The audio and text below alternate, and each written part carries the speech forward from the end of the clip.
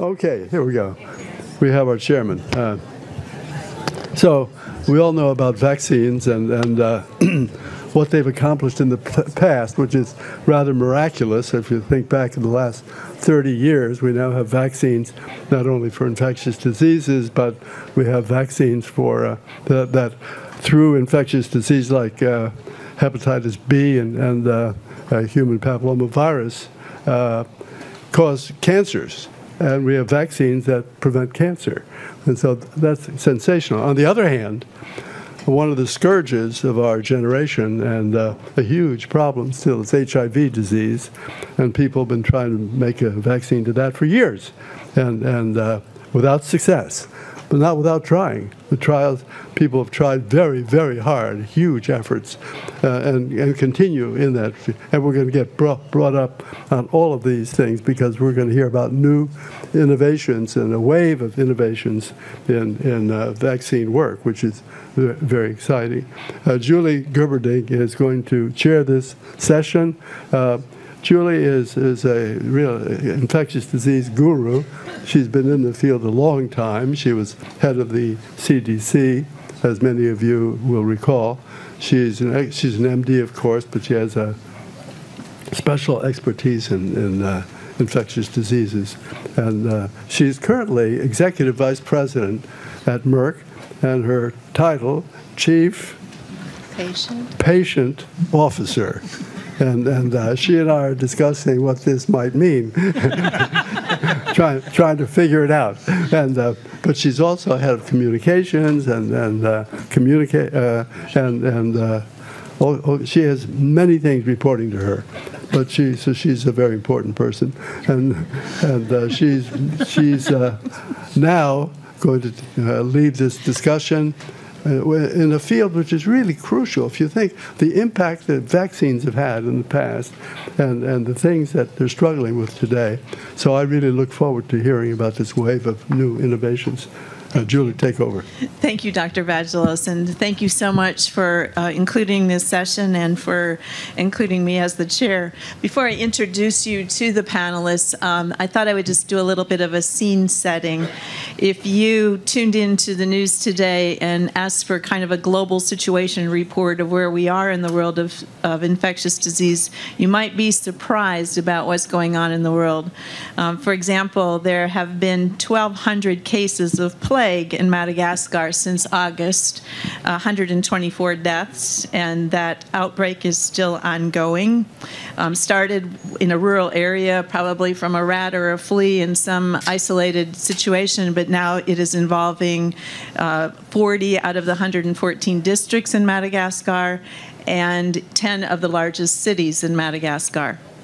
You might also learn that the avian influenza H9N7 is, excuse me, H7N9 is um, still propagating in Asia in the fifth wave of this outbreak, um, affecting now more than 1,600 humans, about 700 in China, a mortality rate um, of about 200 people so far.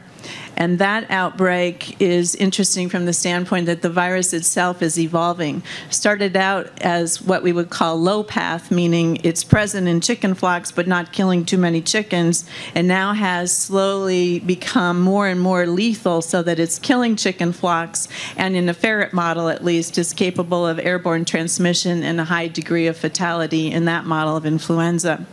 Finally, you might um, hear about the Marburg in infection outbreak, hemorrhagic fever like Ebola virus um, that's going on in eastern Uganda. There are at least um, two very um, uh, two deaths and probably a total of five cases in that outbreak um, started most likely from a man who visited a cave full of fruit bats that are known to harbor Marburg, and then spread to family members who took care of him when he was sick, and probably also to healthcare workers um, who were involved with body fluids. So I bring these three situations up because, in a sense, they're really emblematic about what we need to talk about on this panel. First of all, they're zoonotic diseases. They're infections that start in animals and then spill over into human beings and can cause high rates of mortality and, under certain circumstances, a fair amount of person to person spread. Now, we're living in a world where this emergence and spillover has probably never been more likely. It's not just about urbanization or the changes in the demography around the world, it has to do with an unprecedented societal dislocation. There are 65 million refugees in the world, people who are moving around in unstable living conditions, being exposed to all kinds of infectious diseases.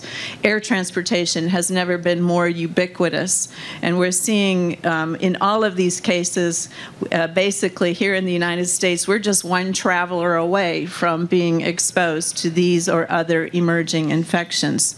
So the pandemic threat is here. Uh, we've had a lot of close calls in the last decade with SARS and avian influenza and MERS, um, Ebola in West Africa, and yet um, so far we haven't had to contend with uh, a large-scale pandemic of an acute nature. But I think Mark could tell us a little bit more about the pandemic that we are experiencing, the pandemic of HIV, and what we can learn. And of course, if you're a chicken, we do have an avian influenza pandemic. So um, it's all relative what we're really saying here is that the pandemic potential is the problem and I think this panel is the solution. And now I'd like to introduce my, my panelists um, because I think you'll agree there's just an incredibly erudite group of people who have a broad spectrum of experiences that are relevant to these opportunities for new innovations in this area. So sitting next to me is Dr. Richard Hatchett, who's the CEO of something called CEPI, which stands for the Coalition for Epidemic Preparedness Initiative, which is a new private-public partnership to really tackle the market failures that are preventing us from having vaccines in time to solve these emerging infectious diseases. But Richard was formerly the chief medical officer in the Department of Health and Human Services responsible for BARDA, which is basically the nation's biodefense um, countermeasure initiative. Richard also spent time at NIAID in uh, radiation countermeasures countermeasures, thank you, and has a long uh, tradition of contribution both at the policy level as well as the scientific level in the world of biodefense.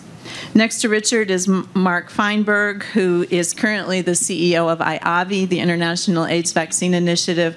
Mark was formerly with Merck Vaccines as the Chief Public Health and Science Officer, but he too has a long tradition of engagement in, in bench science, the first PhD student in the United States to write a thesis on HIV um, back in the day. And, and I first knew Mark when he was an investigator at UCSF and, and the Gladstone Foundation doing very basic immunology related to AIDS. But Mark also has had a time in government, um, a time uh, as a policy leader, and now is working right smack in the middle of private-public partnerships through IAVI. Uh, next to Mark is Rajeev Venkayya. Dr. Venkayya is the president of Takeda Vaccines. Rajeev has a, a, a resume that similarly um, includes a great deal of private-public service um, at the Bill and Melinda Gates Foundation, where he was responsible for vaccine delivery and sat on the board of Gavi. But also Rajeev uh, was in the White House, um, really front and center in terms of our nation's pandemic preparedness and other biodefense strategy um, execution at an administrative level. Um, and of course, Rajeev also was well trained at UCSF in San Francisco General, where I was once probably his professor. um, and last but certainly not least is Dr. Steve Whitehead, who is a senior associate investigator at NIAID. And Steve has really dedicated his career to vaccines. And if there's anyone at the table who can comment on innovations in this space, it, it's Steve. He first started with syncytial viruses and participated in their tech transfer, which we'll ask him a few questions questions about. But Steve also um, has um, had frontline experience with Ebola and can tell us a little bit about the realities of development and delivery of vaccines under those circumstances. So without further ado, I'll, I'll kick it off with a couple of questions to our panelists, but we do want to leave plenty of time for audience um, Q&A, so we'll keep our answers brief and hopefully to the point. So I'd, I'd like to start with the discovery side of things, if we go discovery, development, and delivery, um, because um, we obviously still have challenges in the discovery domain. And Steve, you've been thinking a lot about the agenda for vaccine research and how we can do a better job of anticipating and preparing for these emerging problems. Um, can you tell us a little bit about the priority research agenda and how you're approaching it in your role at NIAID? Sure. Uh, I mean, everybody asks what's next. That's the big uh, question. And how do we um, set aside resources to work on what's next? What's the next big thing?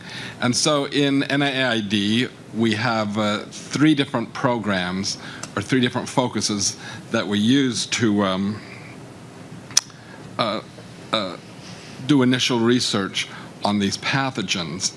And one of them is probably the biggest gamble, and that is pathogen specific research. So I'm going to study plague because I think that's going to be the next pathogen. You know, you go to the roulette wheel and you spin it. You, you try to find out what, what you think will be the next pathogen. It requires a crystal ball, but there are lists, and there's lots of different lists out there that have priority pathogens, whether it's a WHO list, whether it's a CEPI list, whether it's a CDC select agent list.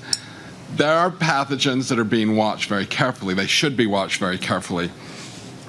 But I want to remind people that HIV, um, SARS, Zika were not on any of these kinds of lists. Ebola was, but we, it, it's a gamble. So we try to make our best guess, our best judgment based on probably underfunded surveillance and underfunded epidemiological studies to try to predict what this is. That, that is the pathogen specific research pathway.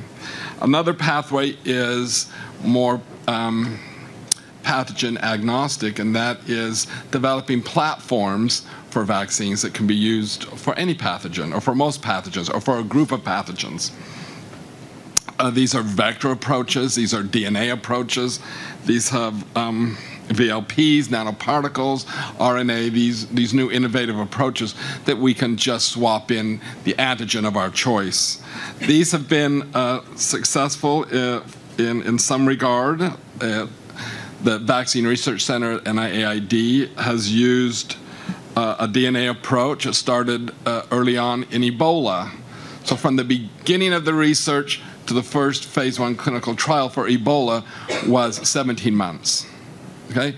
Then Zika came along, and Tony Fauci always likes to say, we did that in three months. We had the Zika sequence, and in three months, we were into a clinical trial. Now, I have to qualify that. They had a little bit of a head start because they were thinking about Zika, because they were starting to see some Zika incidents in tropical areas. So, those are the, the platform based uh, technology approaches. The other approach is uh, what I call a prototype pathogen approach. So, I work on a, laboratory may work on hemorrhagic viruses and you know do basic research on the structure and um, uh, uh, uh, the particle structures, the epitope structures for these types of viruses. Hemorrhagic viruses are always on everybody's lists. We, my laboratory, used this approach for um, uh, flaviviruses, for the mosquito-borne viruses, such as dengue, um, West Nile virus, and it you know segued into Zika virus. We knew a lot about how the flaviviruses behave and what we what we can and cannot do uh, with these viruses. So, Mark, there are so many pathogens and so little time and so little money. Um, when we think about that list and that prioritization, you know, what are some of the factors that are most important in considering where to go with our investment. I'm asking you because I know that you chair the scientific advisory group of CEPI and you're having to make those decisions as you look at candidates and applications for funding. What what what, what do you, you use as the criteria? Well, I mean, similarly to what Steve mentioned, um, you know, you want to both identify risks for known pathogens. So, you know, we can name infections, whether it's Ebola or Zika or or plague and or flu, and you know, clearly some of those are going to have major potential for for global spread, and those are obviously concerning ones and would need to be prioritized. But the one that I think we would all agree is is the biggest risk, but I don't think you know the global health community or governments overall pay enough attention to is the currently unknown pathogen that's going to arise and um, spread quickly. So, you know, everyone is familiar with the SARS outbreak and, and just how disruptive that was. If SARS had just been a little bit more um, infectious or, you know, readily transmitted, um, it would have been a real disaster. And I think all of us have seen the various movies, whether it's you know silly ones like Outbreak or a more serious one like Contagion, where there's this emerging infectious disease that's truly threatening the globe. So. Um, when you think about priorities, you need to think about how to sort of prepare for the ones we know, even if they haven't yet spread widely. I think Ebola surprised everybody and changed the conversation because there was a long period of time when people didn't think that we would need an Ebola vaccine or that if you had one that you would be able to test it. I think the Ebola outbreak of 2014 changed that, but it also really highlighted to people that the models we have for developing vaccines and the opportunities for public-private partnerships to drive progress in developing vaccines um, really needs to be reimagined um, and made much more effective. So in thinking about the prioritization, you know, I think for CEPI as well as for me personally, um, you know, thinking about what are the pathogens that we know are out there that we desperately need vaccines for, even if they are potential threats rather than current day threats, because things will surprise us. Secondly, how do we prepare not only scientifically, but as a broader global health community? And I include the private sector in that in a major way because whatever happens, the pharmaceutical companies who develop vaccines are on the critical path to actually getting a vaccine and making it available. And the third thing that I need think needs prioritization is we need new models for figuring out how to do this work. And we also need to sort of think about how to do it in, in peacetime. You can't respond to a crisis, you need to prepare for it. And as we've seen again and again, whether it's with Ebola or Zika or, you know, for me, most importantly for HIV, when it's not in the headlines, people forget about it and mobilizing efforts to get stuff done just sort of disappears. And um, we, I think all of those are priorities. It's not just the science, it's the preparedness, and it's the partnerships that are essential to get right. You know, and I mentioned at the beginning plague, uh, avian influenza and Marburg. Those are three diseases for which we actually do have candidate vaccines at least, but people aren't protected. So, Richard, um, in your new role, it's really your job to try to figure out how to bring these candidates across the valley of death into an environment where they're actually not just available, but we have information about their potential efficacy and at least a plan for how we might be able to use them. So, I'm sure the audience would like to hear a little bit bit more about CEPI, um, what your goals are, and how CEPI can really help this valley of death problem. Sure, sure. Can everybody hear me? Um, so I, I, think I'm here to endorse what your proposition at the beginning that epidemics and, and pandemics truly represent a threat to global security. And I would say that CEPI as an organization is dedicated to the proposition that we can do something about it. Um, I think there are converging factors that, that position us to be able to do something about it. There, there are certainly advances in vaccine science and vaccinology, new, new platforms such as some of the ones that Steve mentioned that uh, present the opportunity to develop vaccines much more rapidly if we were to face a new pathogen. And as, as Mark was saying, we can anticipate pathogens that we need to be prepared for. Ebola did surprise us, but I think there's an important lesson in, in the surprise, which is that a pathogen that we thought we understood and that we had had dozens of, of outbreaks to practice containment and that we thought that normal public health interventions could fairly routinely bring under control once they were brought to bear on the disease, move that disease into a new environment, into a new social context, into a context that's been disrupted by conflict, um, where the public health system and medical care systems have been decimated, and suddenly that disease can behave in a very different and much more explosive way.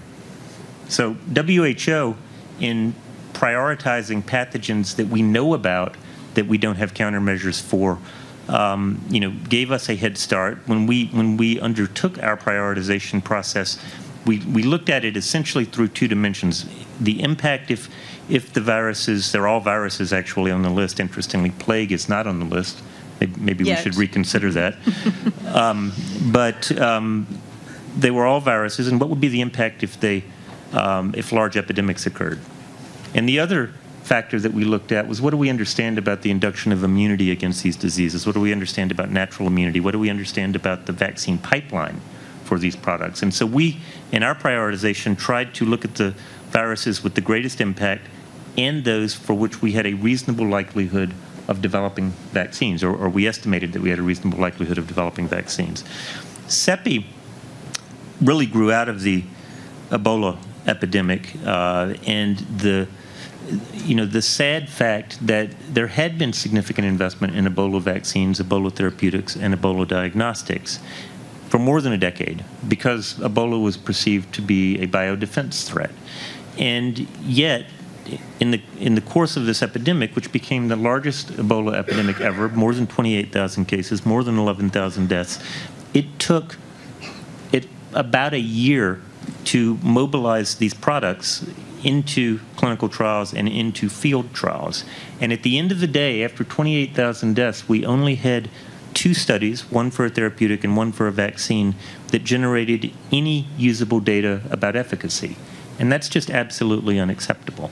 So CEPI, as an organization, was established, one, to move vaccines forward, to conduct the clinical trials for threats that we can perceive and, and to develop platforms that we hope we can mobilize for threats that we don't know about right now. But not only to, to just fund the R&D and to advance the products through a regulatory you know, uh, process, but also to work with countries at risk. We know what countries are at risk for Lassa. We know what countries are at risk for Nipah. We know what countries are at risk for MERS, which are the diseases that we've prioritized. And we can work with clinical scientists and with national regulatory authorities in those countries, help them design clinical trials for the scenarios that we can predict, whether we're using the vaccine for general, you know, populations prophylaxis or we're using it in a response mode. Design those clinical trials, have those clinical trials reviewed in advance, and have the vaccines ready and waiting. And, and if an epidemic occurs and, and expands rapidly, like the, epi- the, the plague epidemic has expanded rapidly, doubling every 12 days, um, we, we can then deploy these vaccines into a controlled context where we can both test the vaccines and hopefully use them to contain and control the epidemics. Thank you, Richard, and we'll, I'm sure, come back to you again with a little more on that. But um, you mentioned Ebola as really the precipitant for a wake-up call that we needed to do a lot of things differently.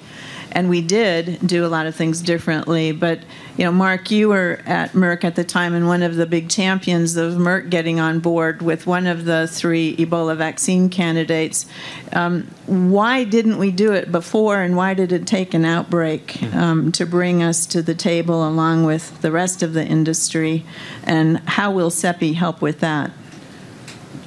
Well, I mean, as Richard indicated, um, you know, while Ebola was uh, relatively well known as a disease, the expectation was that it could be managed just by uh, quarantine, you know, typical public health practices, and um, the need for a vaccine was, you know, maybe appreciated by people who were more concerned about, as Richard said, Ebola being a bioterrorist threat than they were thinking about Ebola being a major public health threat um, to the general um, community. So, but you know, the world changes, and uh, we're seeing that whether it's with plague or flu or other things.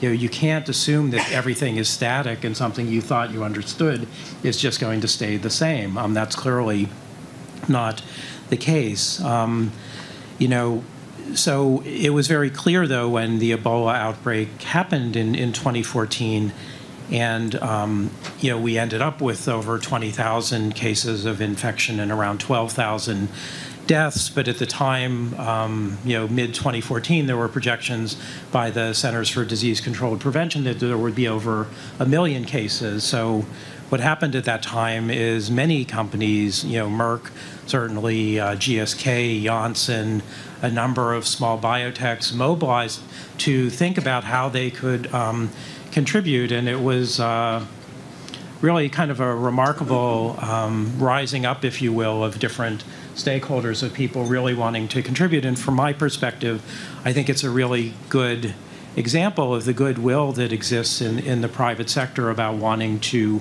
um, contribute to global health progress, but it also highlighted in many ways what the challenges are for private sector entities um, to do that. I think one of the good things about the Ebola response was just how many people came together to work on this. So the vaccine that Merck um, developed, just by way of example, was originally developed by um, investigators working at the Public Health Agency of Canada.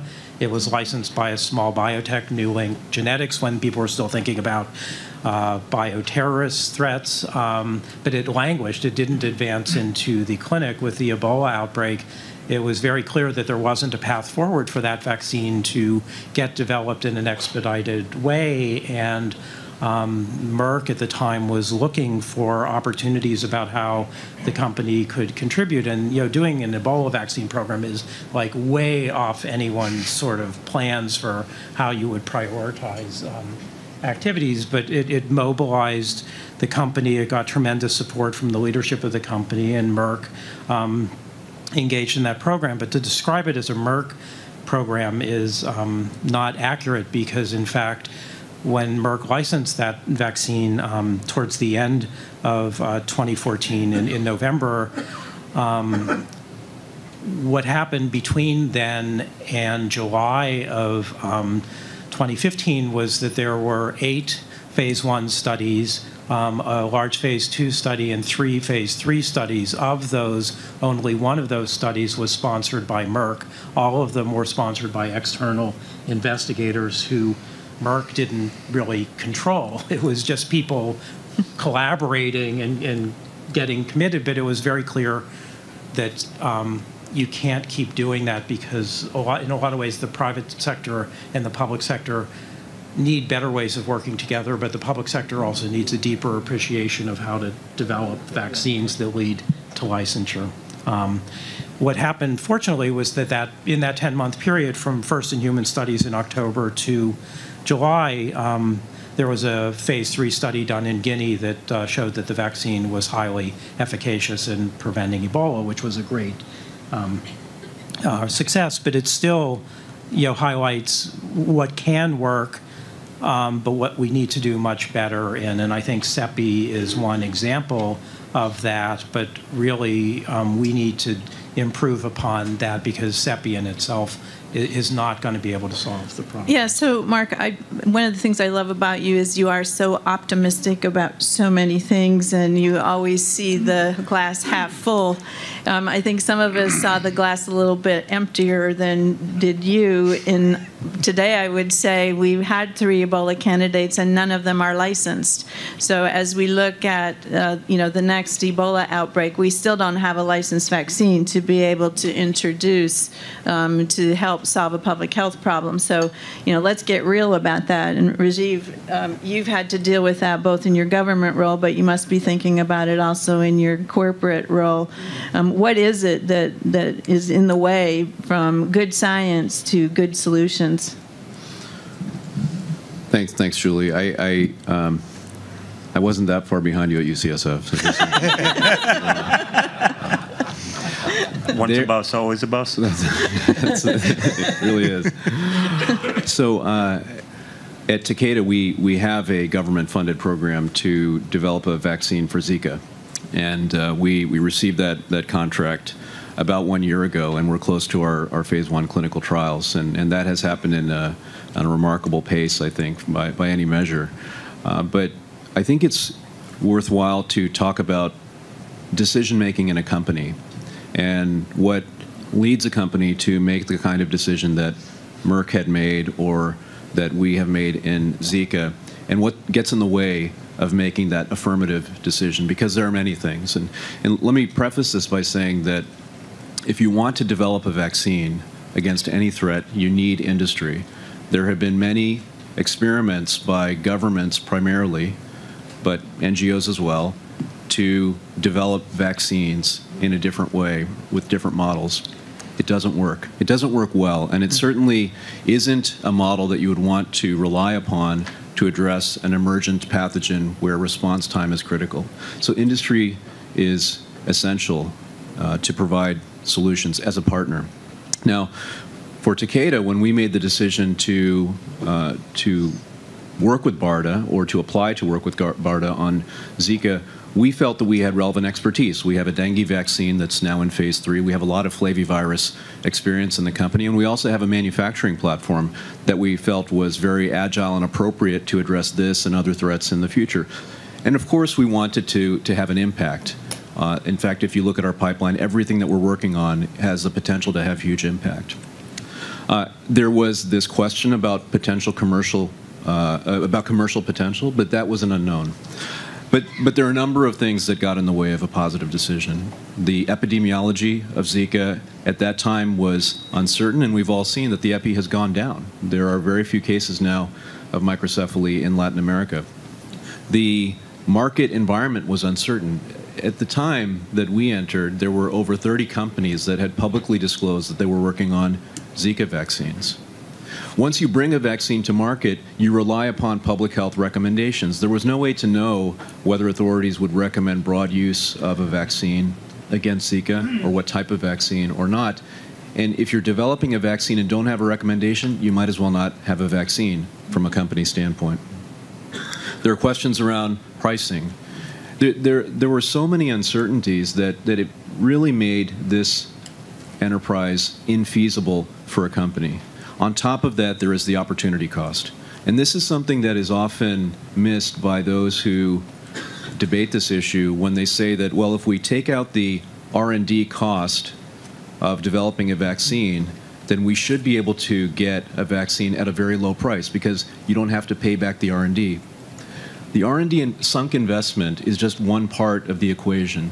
Risk is another, but opportunity cost is is a big one. When you take a large portion of your team and your facilities and you direct them to a product development program like Zika, you're taking them away from something else that may have a more certain return on the investment. This is the reality of what life is like in a company. And if you take a step back and go beyond vaccines, our, ours is a company that has programs in oncology and gastroenterology and central nervous system diseases. If you think about deployment of capital there are a number of other more certain ways that you could deploy your capital than in an enterprise like Zika with all these uncertainties. Mm-hmm. And this part of the equation is not often discussed, and, and I think it's uncomfortable for people to talk about these things because they relate to private sector considerations. Well, I think you have to talk about these things if you want the private sector businesses to be a part of the solution. Now, the reason this worked for us ultimately is not only because we wanted to, to make a difference, but because the U.S. government stepped in and said, we will cover your R&D costs, your internal costs and your external costs. The term that we use for that is de-risking. If this vaccine doesn't go anywhere after licensure, we can still feel that we did the right thing. And we can, we can go to the board, we can go to uh, stockholders and say that we, we did our best, we wanted to make a difference. This was the right thing for the company to do.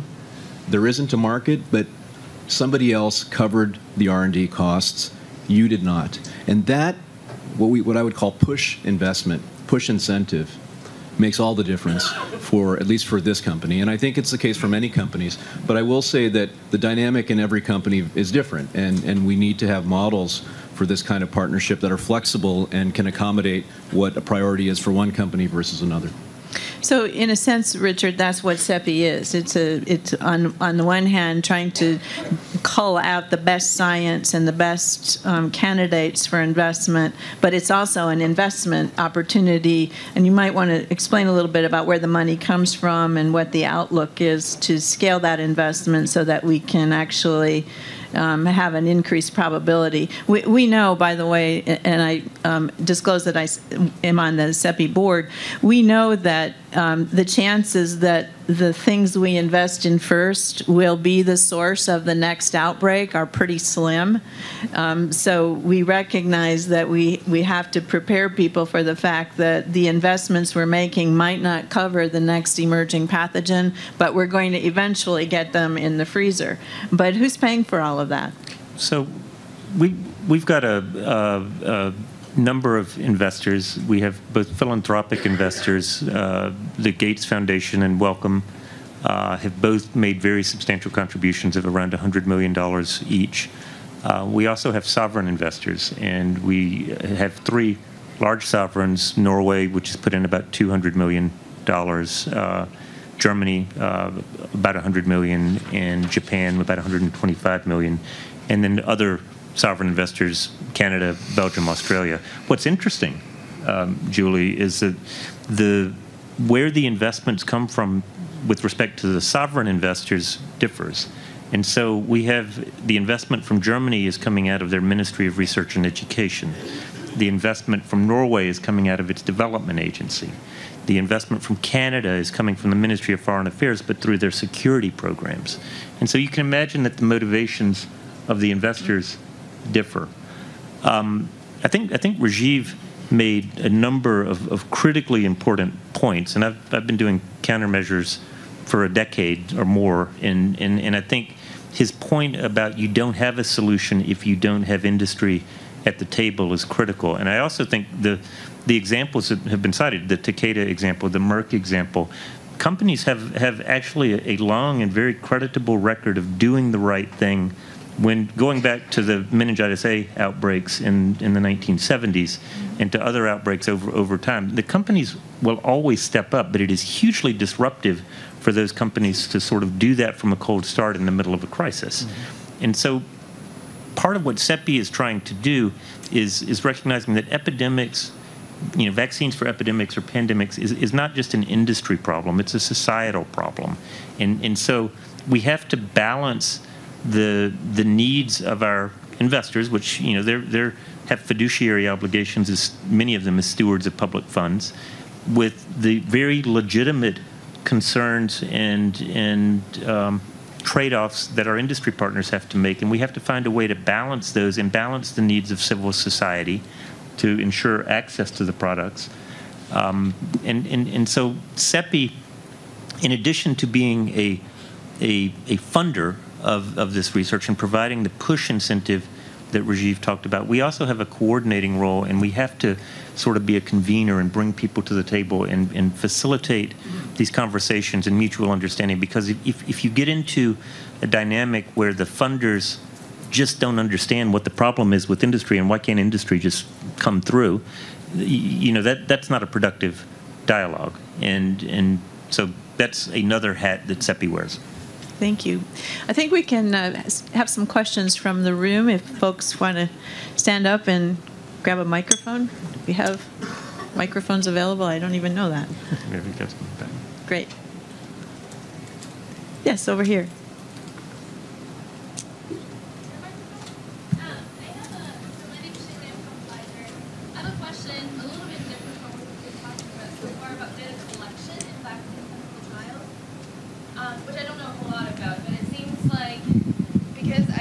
a lot of the oh thank you um, a lot of the trials are conducted in pretty large sample numbers. Um, and at least coming from a genetics point of view i believe a lot of the trials are conducted with a consent clause that says we will not sequence you uh, will not collect too much data from the human subjects. And it seems like just from a scientific point of view it seems like a very big gold mine that we're not tapping into for feeding back into basic research including um, studying you know on the molecular level effectiveness or safety or just basic immune reaction to vaccines and the infections. Um, I was just wondering, am I right? And is there any changing thought or policies or practice in that area? Go ahead, Richard. Yeah, let me let me start and, and maybe kick it over to Steve on, on more of the scientific issues. I, I, I think there. I mean, I mean, one thing that we understand is is that the induction of immunity against these threat agents you know, differs by threat agent, whether whether you're going, I mean, and, and, and we don't necessarily have a, a great understanding of correlate, I mean, we, we definitely don't have great understanding of correlates of immunity for the threat agents that we're talking about because they haven't been deeply studied. And so there there is a huge amount of translational science that could both inform vaccine design and uh, help us design better vaccines and better clinical trials. And the, the there will be clinical trials for these vaccines that are done. I'm going to euphemistically call it peacetime, you know, in, a non-epidemic setting where, depending on where the trial is conducted, you may have more or less opportunity to perform these correlative studies that you want to do. Um, there also will be studies that are done likely in very austere environments, likely in environments that have fragile, if any, clinical trial infrastructure. And the you know, Mark can also perhaps speak to some of the challenges that were encountered in the clinical trials that were performed in West Africa during the Ebola epidemic. But Steve, I don't know if you wanted to talk about the science. Uh.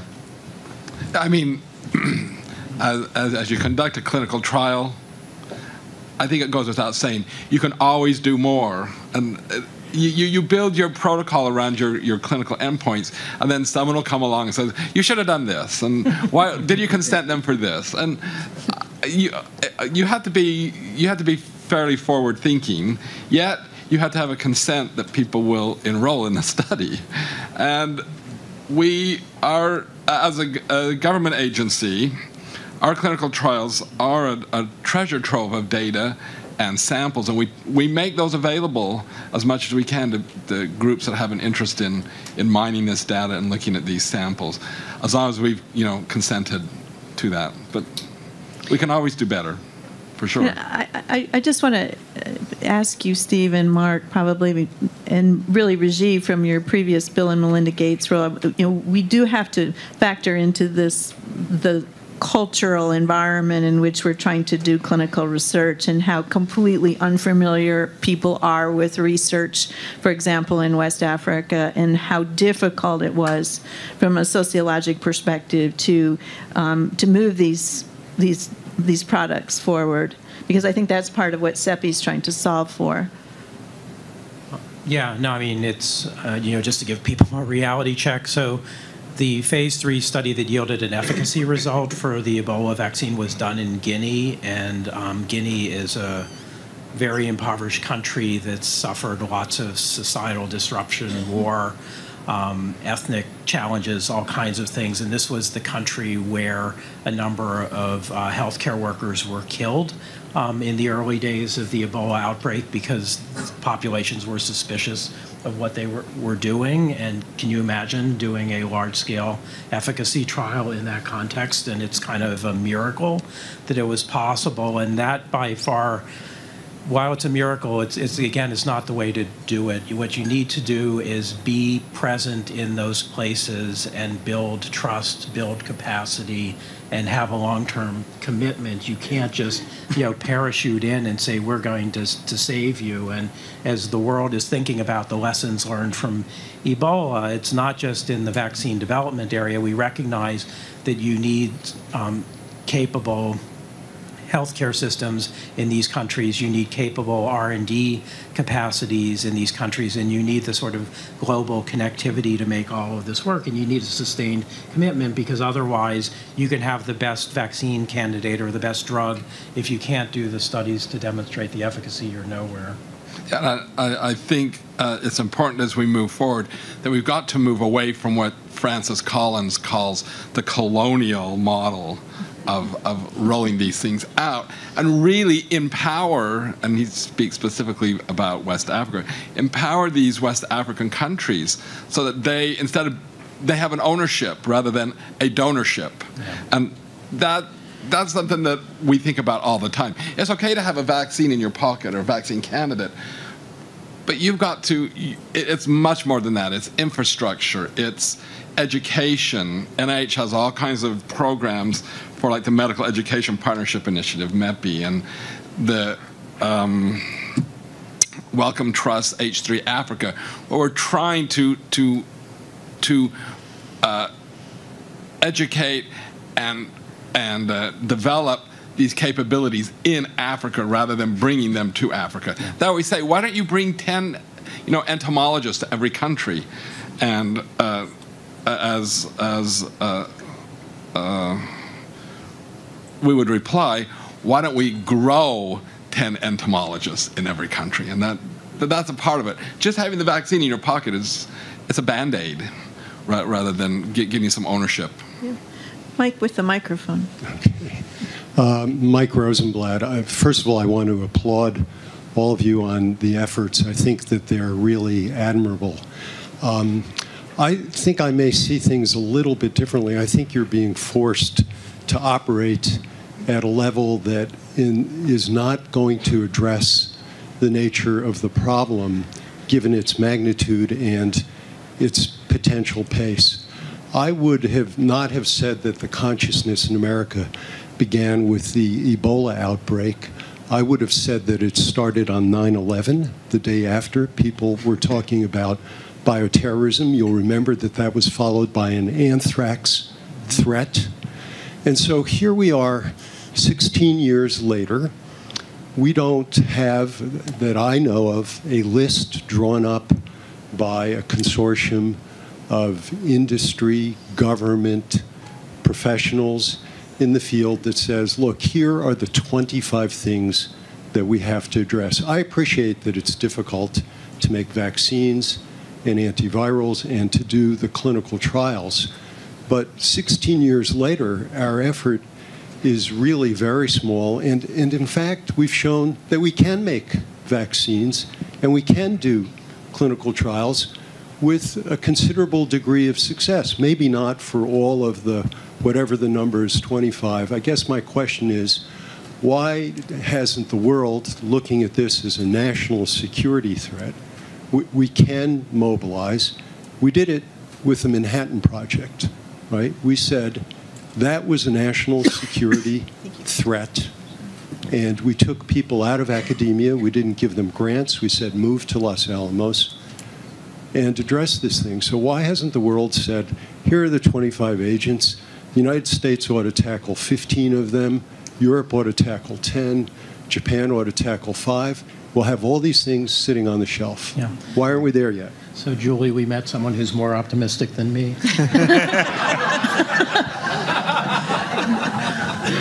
so, yeah, I'll, I'll, I'll, I'll, take a crack at that, and I'll, uh, put my old U.S. government hat on. I was, I was, as Julie mentioned, the chief medical officer and deputy director at, at BARDA, which is the organization that was created to do exactly what you're proposing. And, and, and I will respectfully disagree. tell you disagree. Uh, and, and, and, say that there is a canonical list for biodefense threats, and it's it's jointly established by the Secretary of uh, Health and Human Services and the Secretary of Homeland Security, and that list has driven U.S. government investment for the better part of the last 15 years.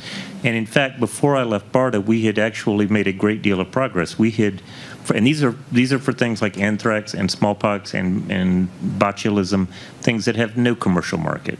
And and by the time I left BARDA, we had supported through public-private partnerships, through the provision of R&D funding, through procurements for stockpiles uh, and through the provision of a lot of technical support, principally from NIAID um, and the Department of Defense to some extent. There, there, were 23 products with no commercial markets that had achieved FDA licensure, approval, or clearance. And, and so we actually did figure out the model.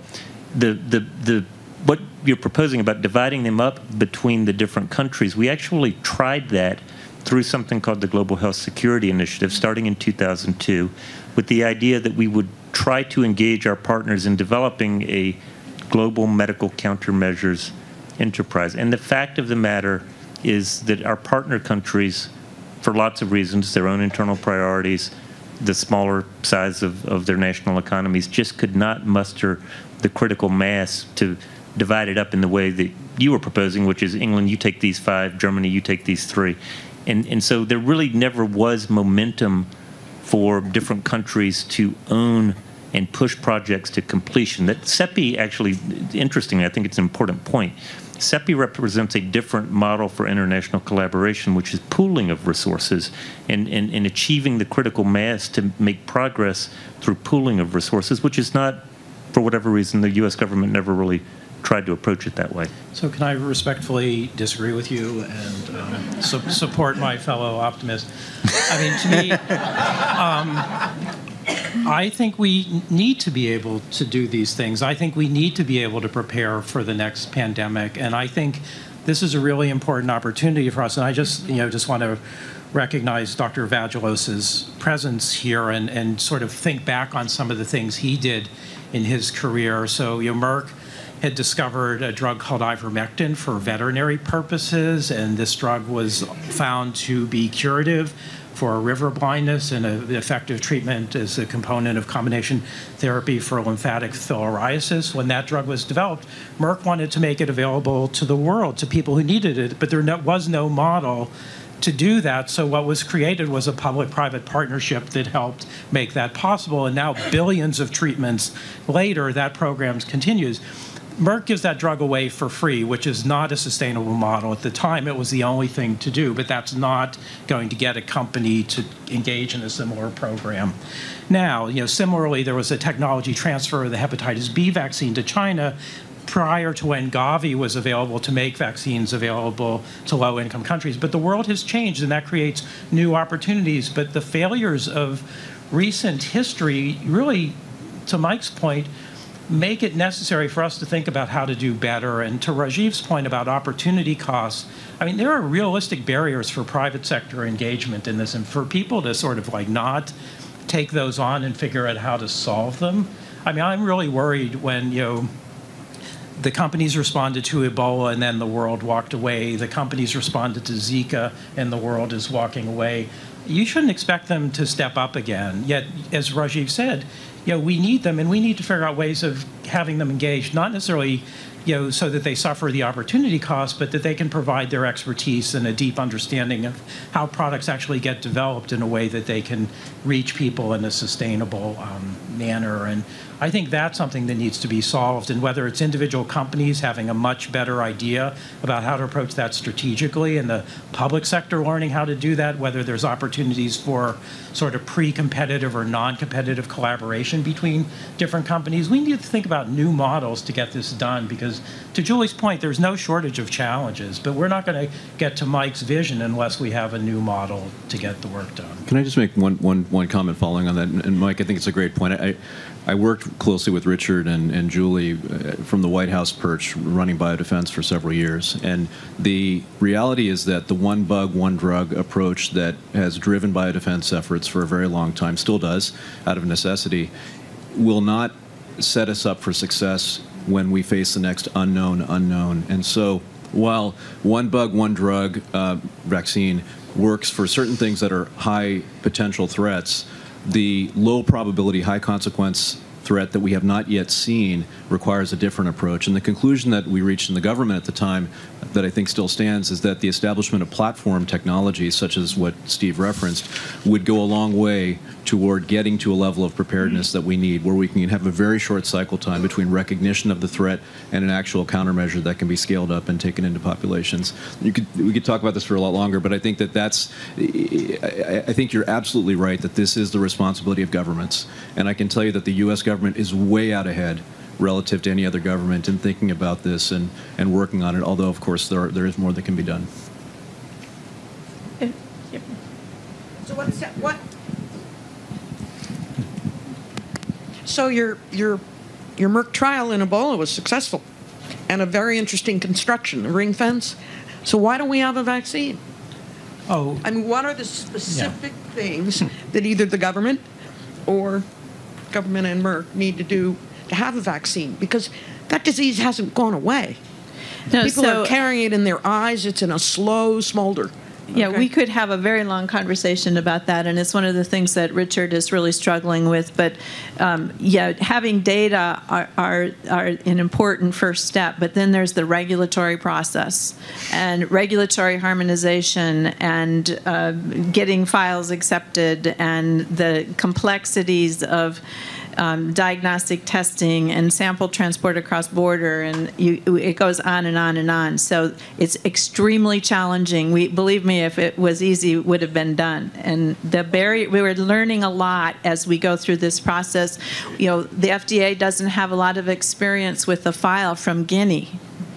So adjudicating the reliability of the data and going back and filling in all the, you know, data fields, et cetera, et cetera. I mean, this is a, a very challenging situation. I think that's part of what, what we've learned in this context is, is going back to what Steve said. We have to create a, a research apparatus so that when we're done with this at the end of the day, we can take these phase 2B candidates and get them into phase 3 studies when we need them and hopefully end up with licensed products. But when the um, cases of Ebola emerged in the DRC, uh, we sat on the edge of our chairs worrying that there would need to be utilization of this unlicensed but available vaccine. And even the process of what a country has to be able to do to import an IND product, basically make it available, the consent process in DRC, I have absolutely no experience with that whatsoever. So part of what we have to do goes back to the delivery concept. We have to prepare countries to receive research products, and that's a very complicated bureaucratic process. It's not straightforward. I know you're, you're, you're, Richard is spending a lot of time behind the scenes with work groups on, on this whole delivery challenge. Yeah. I, I mean, I, I, I won't um, maybe get some more questions in, but it, but it is a systems challenge. It's not just a technical or a scientific problem. I mean, I mean that's the very first thing. And, and, and actually, I don't think that Mark and I disagree, but I will- will nuance it a little bit. And, and, and a very important word that Mark said in his in his remarks was sustainable, and the the challenge, if as you say, Ebola is not going away. These are threats in perpetuity. So technically succeeding and then having a product that drops off the market because it's not sustainable, it really is just you know doubling the tragedy.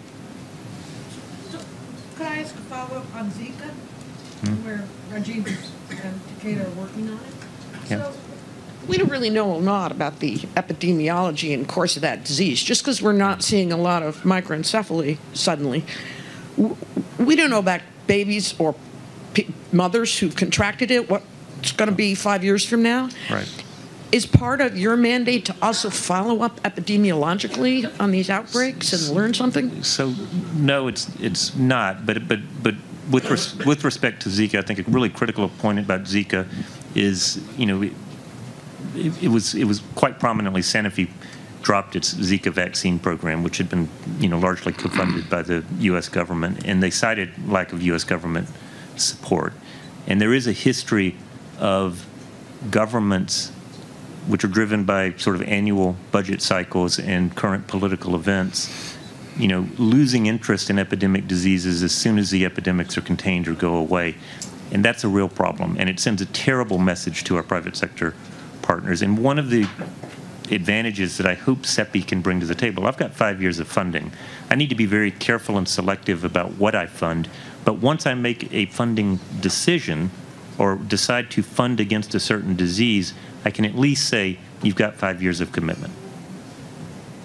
Uh, let me let me comment on that. One of the one of the problems with funding at NIAID is that for all of these uh, uh, vaccines, it's a zero-sum game. So Zika came along. Where did we find the money immediately? We took it from Ebola. And Tony Fauci has, has advocated for an emergency fund for that purpose so that it's not a zero sum game. You can't do it all in one fiscal year or on a five year contract. And that, that's part of the problem is the sustainable funding. I think funding is the, the big elephant in the room we haven't talked about, but uh, something's got to change. And that needs to be Congress.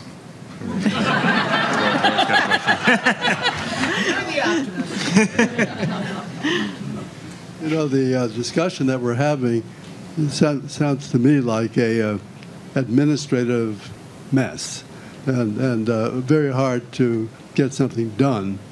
Uh, but I have not had the, some of the information that I expected. Do we have the knowledge and the ability to make a vaccine? Where are we with HIV vaccines today? And are, is it possible that we have that kind of problem with other vaccines that are in the so-called pipeline? Yeah. Where are we with, with HIV? Yeah. Um, well, I mean, we don't have an HIV vaccine, um, and it's we could have a few hours of discussion about why that's the case. I think the main issue is the scientific challenge. You know, we don't know how to make vaccines against diseases for which natural immunity doesn't exist, and given that everyone who's ever been infected with HIV, with one exception that we know of, uh, had HIV for the rest of their lives, you know, clearly the immune system isn't uh, doing its job. Um, and we need to do better than natural immunity. But in a lot of ways, that's the challenge for many new vaccines. I mean, the ones that we have are tremendous, but in some ways, however hard they were to develop, they're easier to develop. They were easier to develop than the ones that we don't have but but need. And you know, I think what's happened though, as we've sought an HIV vaccine and other new vaccine technologies, such as the work that Steve does, the science of vaccinology is just so much more sophisticated. It is actually amazing. And the search for an HIV vaccine has actually contributed to driving scientific progress that is now being broadly applied to other vaccines. So we'll have other vaccines that were enabled by the search for an HIV vaccine before we have an HIV vaccine. There is a lot of progress in prevention, but this is you know, I mean, I've been doing this, Julian, I've been doing this since the early 80s, and that's, you know, kind of scary to, to think about. Um, scary. But people are going to be doing it for a much longer period of time, but we have to sustain that effort because there is really, that's the only way we're going to end this epidemic. And I, I, and I just add, Roy, things I think, I, you know, there there are a lot of exciting technologies and platforms that are in progress. Most of us in the field are working on them, but uh, at the end of the day, much of what needs to happen from health protection is not limited by the science of the vaccine. It's limited by all of the other things that we've been talking about. The three diseases I started with, there are candidate vaccines that would work and would be very helpful in protecting people. We just don't have them deployed. So, you know, what you, the low-hanging fruit here is taking advantage of what we already know and getting uh, it available. Um, as Rajeev pointed out, we need platforms, especially for the unknown threats, and that's an area that I think is still an active invest, in, investment going on um, from a government perspective, but also inside of industry. And that will speed up um, the first hurdle, but it's not going to solve the second, third, and fourth hurdles of actually getting something in the arms of the people who need it when they're exposed or threatened. I think we just take one more question, and then we'll. Uh, actually, I will take that question back there because you had your hand up before.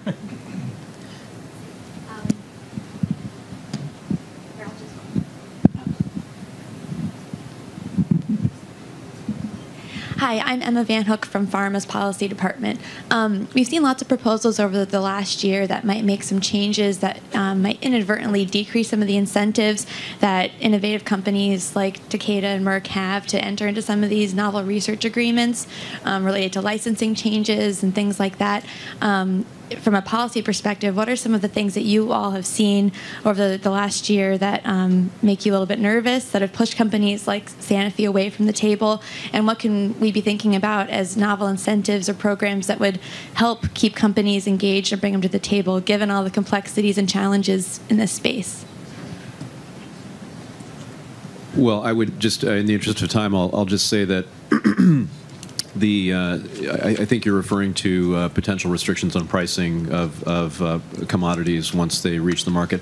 I do think this is an important consideration that needs to be discussed with companies in, in the course of, of these discussions. I think that there is a balance. I, you know, I, I like to think about the Gates Foundation approach to this problem, where they have global access agreements with any company they work with that allows the company to capture the value of innovation in non-low income country markets. Uh, it, broadly speaking, that's what the Gates Foundation does. And, and so this concept of striking a balance where you support the company, de-risk the program, and ensure that the populations that you're targeting get access to the vaccine, whether it's through pricing or other, whatever else you have to do, but then allowing the company to capitalize on any uh, innovation that comes out of that for other products or in other markets. I think that is a, that's an approach that I think has worked quite well, and I think that's something that the U.S. government could could consider. I think we have run out of time in our uh, panel. Thank you very much for your attention, and thank you to the panel.